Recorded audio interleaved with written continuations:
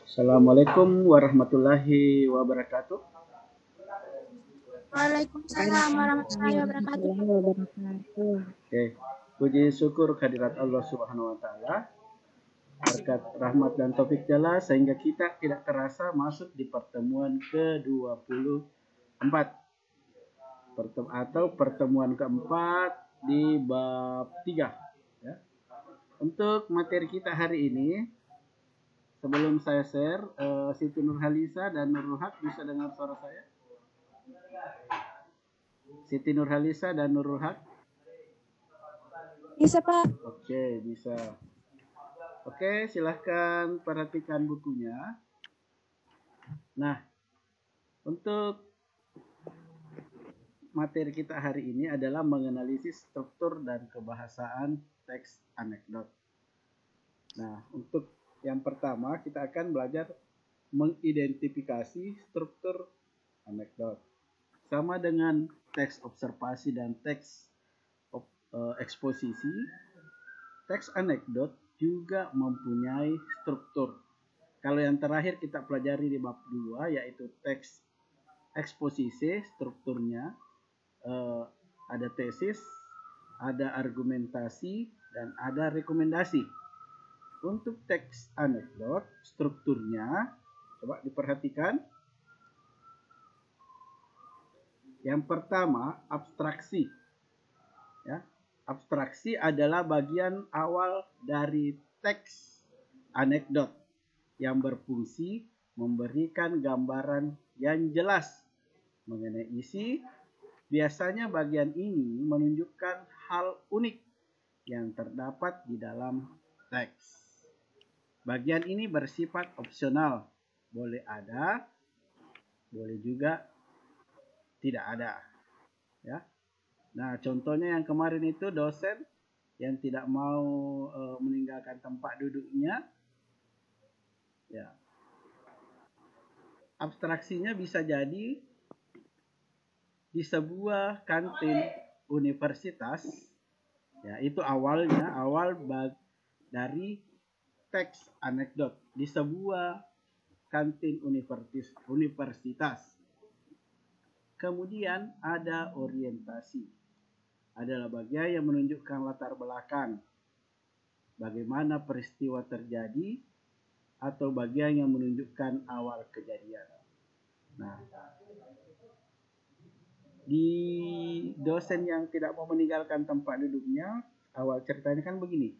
Di sebuah kantin universitas ya itu uh, bisa jadi abstraksinya. Tono dan Udin terlibat percakapan.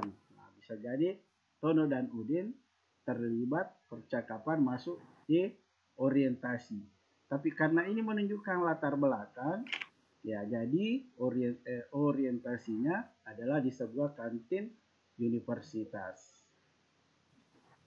Krisis adalah bagian ketika terjadi masalah yang tidak biasa terjadi pada si penulis atau orang yang diceritakan.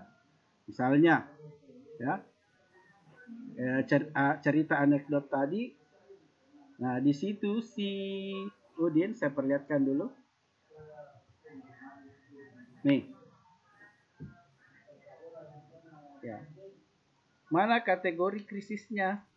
Berarti ini krisisnya. Saya heran, dosen ilmu politik kalau mengajar selalu duduk, tidak pernah mau berdiri. Ah, begitu saja diperhatikan Siton, berarti ini adalah krisisnya. Ya, setelah ada krisis itu biasanya ada masalah, ya. Apa masalahnya? Coba lihat. Krisis adalah bagian ketika terjadi masalah yang tidak biasa terjadi pada si penulis atau orang yang diceritakan. Berarti ini adalah krisisnya. Ya, sampai di sini. Ya Udin, tahu sebabnya? Nah, ini adalah reaksi. Ya, reaksi. Coba lihat.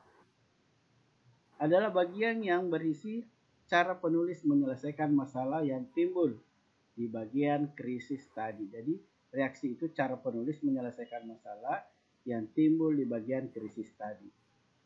Nah, ini reaksinya bukan itu sebabnya, Din.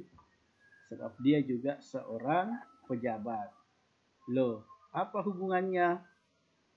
Ya, kalau dia berdiri, takut kursinya diduduki orang lain. Ini adalah reaksi. Nah, kemudian yang terakhir, koda. Koda, bagian akhir dari cerita, bisa juga dengan memberi simpulan tentang kejadian yang dialami penulis. Bagian ini bersifat opsional. Yang dimaksud dengan opsional, boleh ada, boleh tidak ada. Jadi yang wajib adalah orientasi, krisis, reaksi. Sedangkan yang boleh ada dan tidak ada adalah abstraksi dan koda. Kalau melihat cerita ini, yang mana kodanya atau penutupnya? Ini dia kodanya atau penutup. Oke, kita lihat. Nah, struktur teks anekdot berisikan abstraksi ada di bukunya. Bukunya halaman 93. Abstraksi orientasi, krisis, reaksi, dan koda atau penutup. Yang wajib ada adalah orientasi, krisis, reaksi. Abstraksi dan koda bisa ada, bisa juga tidak ada. Ini contohnya. Aksi maling tertangkap CCTV.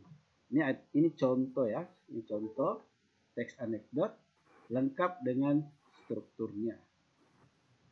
Oke, saya mau kalau Rana Rana menjadi pelapor, saya jadi polisi. Rana siap? Iya, Pak.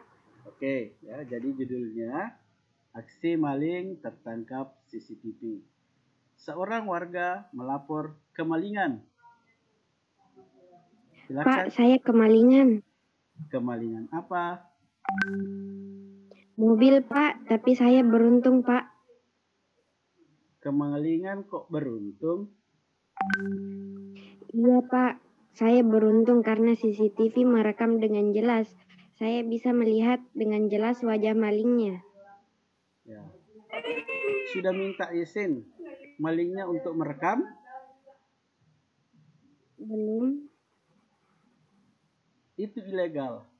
Anda saya tangkap. Nah, saya perhatikan. Abstraksi, ya.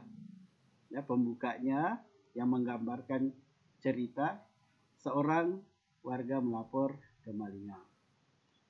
Orientasinya gambaran ya yang bisa melatar belakangi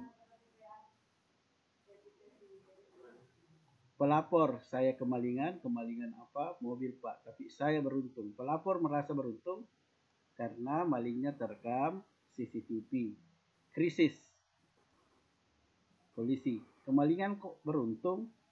Iya pak. Saya beruntung karena CCTV merekam dengan jelas. Saya bisa melihat dengan jelas wajah malingnya.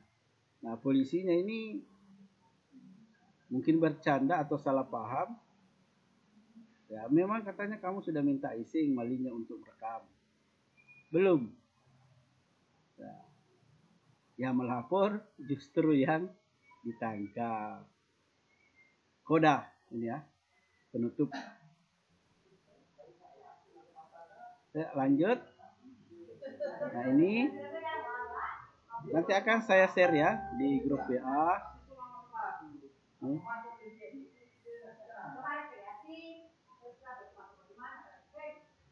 kita lanjut ke contoh ya. Masih ada ini strukturnya tadi. Nah ini contoh teks anekdot juga lengkap. Kita perhatikan. Eh Nuril Ismi bisa dengar suara saya Nuril Ismi bisa ya bisa Pak. Oke. Cak perhatikan. Nah, nah Cak perhatikan. Saya bacakan dulu abstraksinya. Sudah menjadi kebiasaan, Pak Camat akan mengunjungi wilayah-wilayah di bawah kepemimpinannya secara bergiliran. Suatu hari orientasinya, suatu hari Pak Camat berencana mengunjungi salah satu kawasan RW berprestasi yang akan dibanggakannya. Ya, saya menjadi Pak Camat dan staf, Nuril Ismi sebagai sekretaris. Ini krisisnya. Silakan Nuril. Pak, mobil sudah siap? Sebentar. Kita tunggu dulu sampai di lokasi banyak wartawan ya.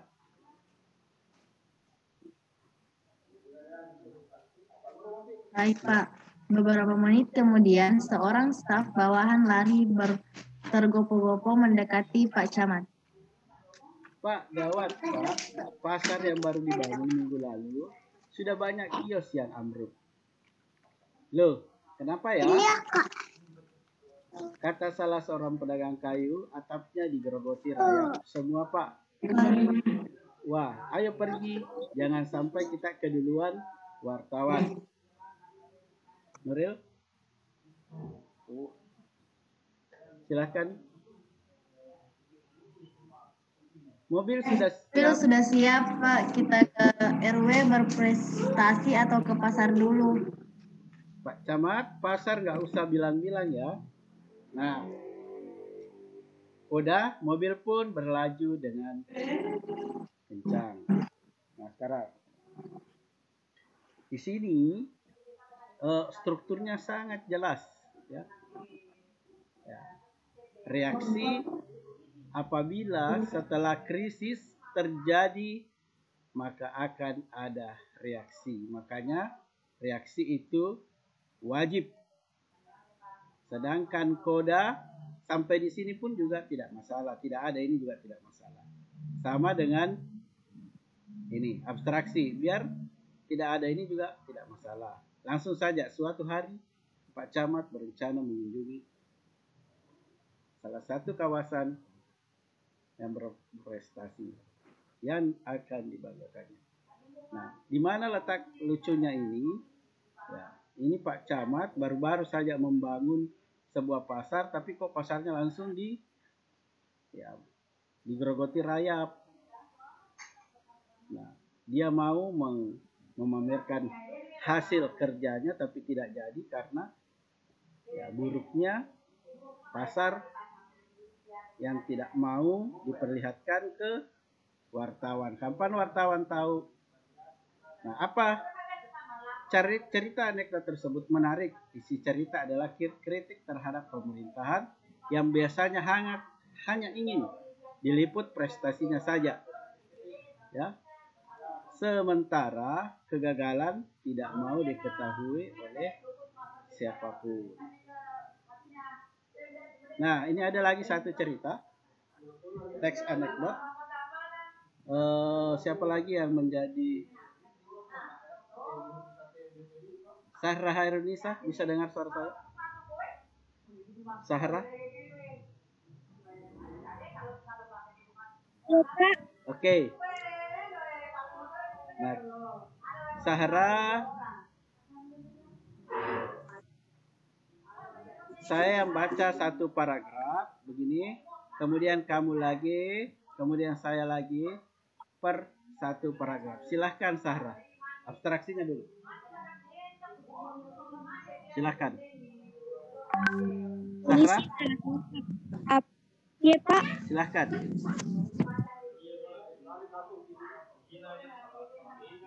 Silahkan.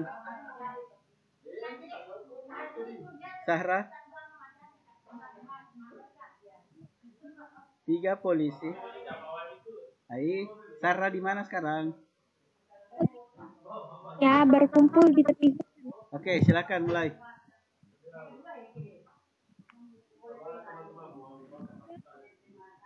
Sahra? Silakan dibaca.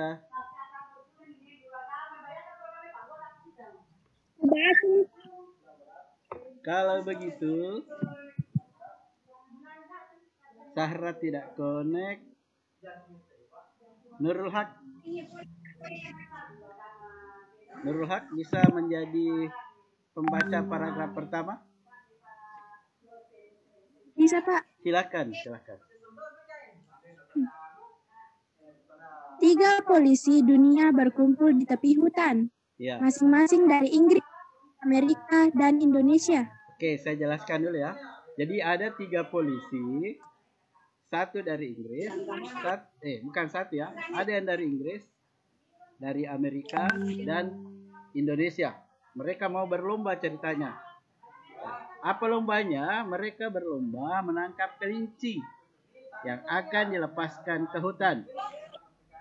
Segala metode dicoba. Berikut teknologi yang mereka punya. Lanjut. Polisi Inggris mendapat giliran pertama. Kelinci dilepas. Wus, polisi dan anak buahnya menyusul dan menyebar di dalam hutan. Tiga jam kemudian, si kelinci tertangkap. Ya. Jadi polisi Inggris itu butuh waktu tiga jam untuk menangkap kelinci. Nah, kini giliran polisi Amerika mendapat kesempatan kedua. Us, lagi-lagi kelinci dilepas. Tiga orang polisi, tiga orang polisi mengikutinya ke hutan sambil menenteng peralatan canggih milik FBI. Katanya bisa mendeteksi kelinci dengan akurat dalam radius 1 km. Ah masa? Eh, dua jam kemudian si kelinci sudah berhasil dibawa keluar hutan. Lanjut. Polisi Indonesia mendapat giliran terakhir. Hanya seorang polisi saja yang bersiap. Wus, kelinci melesat masuk hutan. Polisi mengikuti tanpa peralatan apa pun. Hanya lima menit, si polisi menyeret keluar seekor beruang yang nangis berteriak. Ampun pak, ampun, saya jangan dipukuli, saya ngaku deh, saya kelinci. Ya. Polisi Inggris dan Amerika tercengang melihat apa yang dilakukan oleh polisi Indonesia yang menyeret beruang yang menangis minta ampun dan mengaku sebagai kelinci.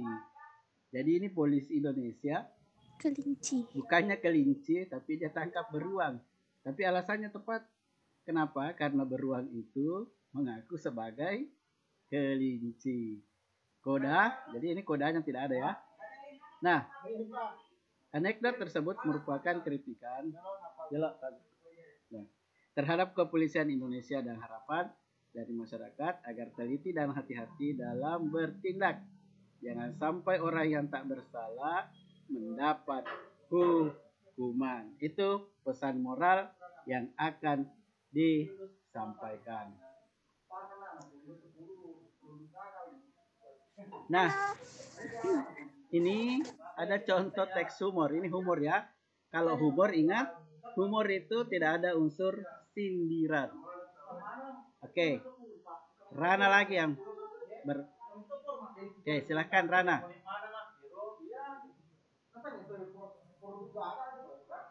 Oke, silahkan Rana. Kelahiran anak kembar. Kita baca ini Pak. Iya, silakan.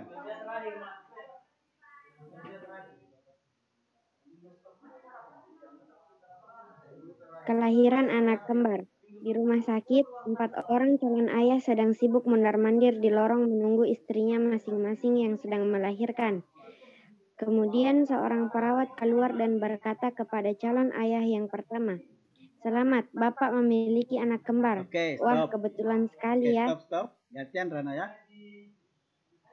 Jadi, jadi perawat keluar dan berkata kepada calon ayah yang pertama, Selamat, Bapak memiliki anak kembar. Wah, kebetulan sekali ya. Saya bekerja di JKT Twins. Twins itu artinya kembar, jawabnya. Jadi di JKT Twins. Tidak tidak lama kemudian perawat keluar kembali dan memberitahu calon ayah kedua. Jadi ada tiga ayah menunggu kelahiran istrinya. Selamat Pak, Anda adalah ayah dari tiga orang anak kembar. Wow, ini luar biasa. tadi kembar dua. Sekarang ayat yang ketiga kembar tiga. Sekali lagi, karena saya bekerja di 3M Corporation. Jadi ini tadi kembar dua anaknya kerja di JKT Twins. Kalau ini kembar tiga anaknya kerja di 3M Corporation. Ya, sesuai dengan pekerjaannya. Kata ayat kedua itu dengan kagum. Lanjut Rana. Setelah setengah jam kemudian, perawat kembali lagi dan berkata untuk berkata kepada calon ayah ketiga, Selamat untuk Bapak, anak Bapak adalah kembar empat. Saya sangat tidak mempercayainya. Ini begitu luar biasa kebetulan karena saya adalah pekerja empat musim. Saya sangat senang sekali, kata si ayah ketiga. Wah, ya. Ini calon ayah ketiga, ah, anaknya kembar empat dan dia bekerja pekerja di empat musim. Nah sekarang ayat yang terakhir atau ayat yang keempat. Setelah itu ketiga ayat tadi semuanya mat, semua matanya tertuju kepada calon ayah keempat yang pingsan. Wah, ayat yang keempat ini belum diberitahu pingsan memang. Mereka menghampiri dan mencoba membangunkannya. Tidak lama kemudian, si calon ayah keempat itu mulai siuman dan berkata, saya sangat menyesal karena mengambil pekerjaan di PT Abadi 5000. Dia pingsan karena dia kira anaknya 5000 sesuai dengan Ya ini hanya humor ya. Tidak ada sindiran. Ya tidak ada struktur. Ya, karena tadi tiga orang yang ayah yang di depannya Anaknya ada dua karena kerja di TKT Twins. Anaknya ada tiga karena kerja di 3M Corporation. Ya, anaknya kembar empat karena bekerja empat musim. Dia langsung pingsan. Nah kira anaknya lima ribu karena kerja di PT Abadi lima ribu. Ya, begitu maksudnya cerita ini. Nah, teks humor tersebut bertujuan hanya menghibur pembaca agar pembaca tertawa karena isi ceritanya konyol. Oke, kita ke materi berikutnya. Ya. Mengenal berbagai pola penyajian teks anekdot. Ya. Jadi, untuk pola penyajian teks anekdot itu ada dua, ya.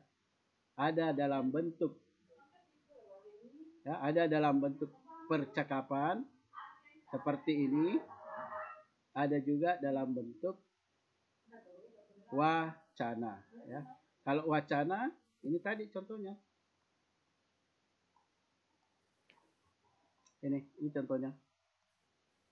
Namun dalam wacana tetap ada percakapan. Ya. Nah, perhatikan. Nah, dari kutipan anekdot di atas, kamu dapat melihat bahwa kalimat langsung ya, meskipun dalam bentuk wacana, dalam bentuk dialog itu selalu ada kalimat langsung yang digunakan. Nah, bagaimana cara penulisan kalimat langsung?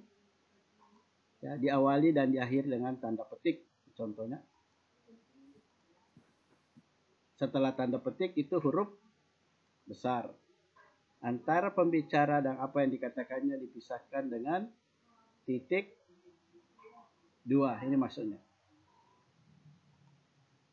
Oke, sebentar dulu.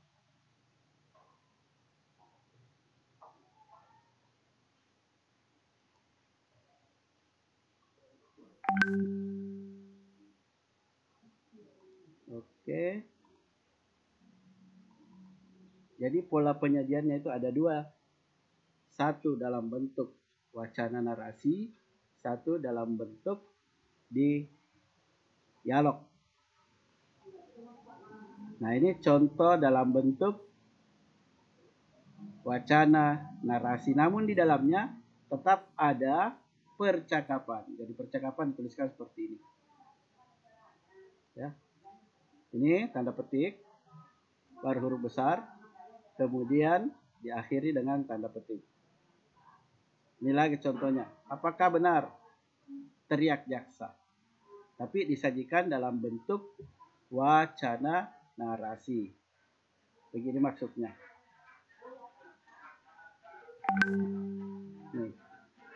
Anekdot disajikan dalam bentuk dialog maupun narasi.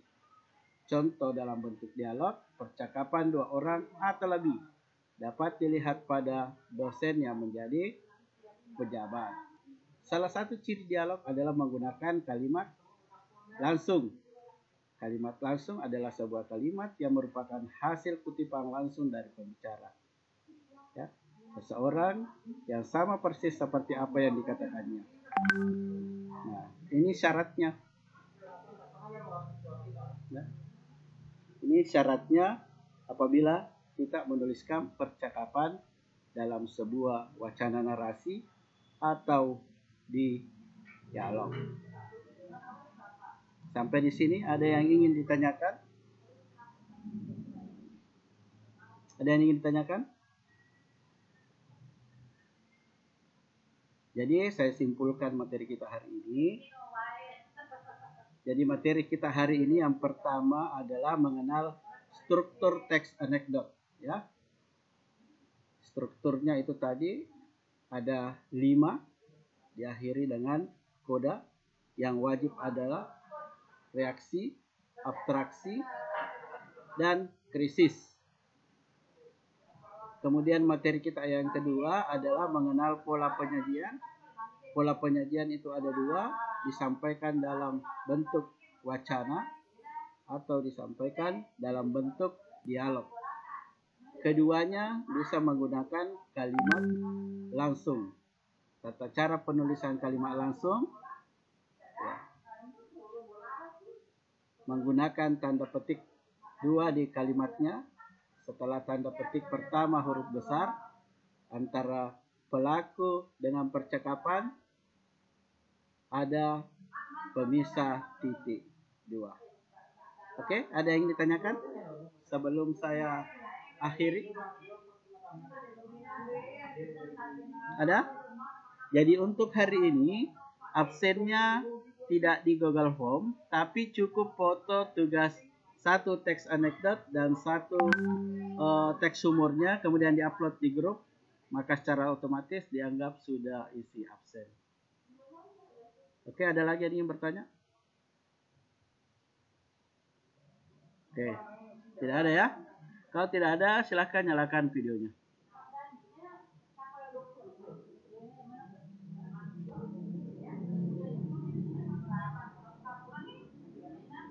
Andia Putri. Oke, okay, Andia Putri. Oke, okay, saya absensi ya. Jangan lupa dikirim tugasnya tak nanti. Oke, okay, satu dua tiga. Ini untuk arsip saya, sementara absensinya menggunakan uh, teks anekdot dan teks humor yang diupload di grup grup WA. Oke?